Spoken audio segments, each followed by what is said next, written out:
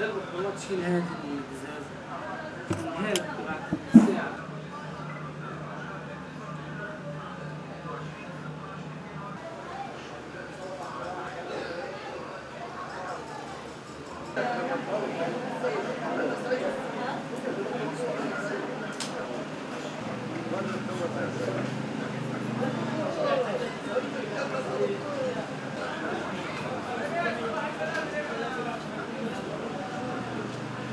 أنا كنت أتعلم في المدرسة وأجي أكمل أجي أكمل من من المدرسة أجي أكمل عند أبويا هنا. أتعلم الساعات كانت ساعات المنبه التعباية وساعات ال- اليد التعباية كنت أجي أكمل هان. ما خلصتش يعني توجيهي كنت أنا هضم الساعات. زمان في السبعينات في ال 75 طالع كان العمل مكثف جدا جدا. يعني إحنا ما ما نقدرش نكمل الساعة لواحد أقل من أسبوع ويأخذها بعد أسبوع. أو الحالة الاقتصادية آه، كانت ممتازة جدا. يعني الواحد يشتغل.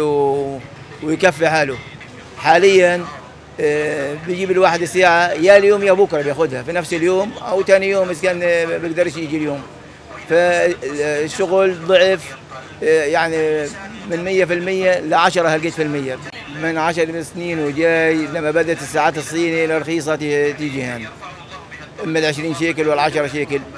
بدأت إيش؟ تأثر والجوال بدأ يأثر. لكن الساعات ساعات لما بتكون في مع الناس رواتب بيبدوا إيش؟ الشغل يتنشط.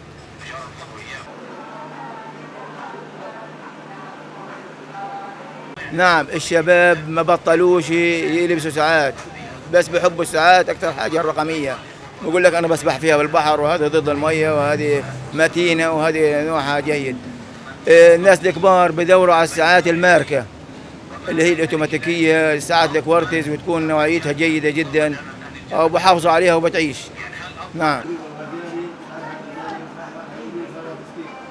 اللي أثر على ال- العمل عندنا اللي هي الحالة الاقتصادية الموجودة.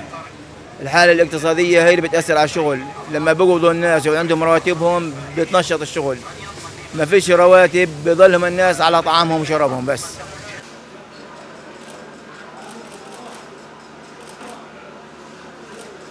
هي جولات لعبت دور بس مش هالدور اللي انت يعني بتتخيليه يعني. دور لعبت ما بنكرش الواحد لعبت دور بس مش الدور اللي انت بتتخيليه يعني الدور الكبير لا. الساعة في الإيد هذه زي زي زي الأكل والشرب.